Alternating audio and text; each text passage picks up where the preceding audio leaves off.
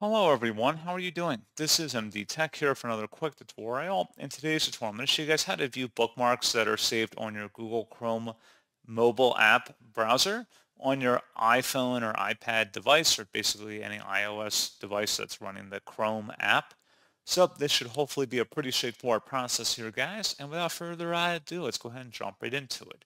All you have to do is select the little three-dot icon up at the top right and you want to select the bookmarks button and then you can select wherever category you want to go view the bookmarks for, and you can see them listed in here. If you want to edit or remove them later, you can select the little three-dotted icon next to it, and you can select delete. You could edit it or even move it to a different bookmark folder you might have on your device, or specifically on your web browser, of course. But pretty straightforward process on that, guys. And as always, thank you for watching. I do hope that I was able to help you out, and I do look forward to catching you all in the next tutorial. Goodbye.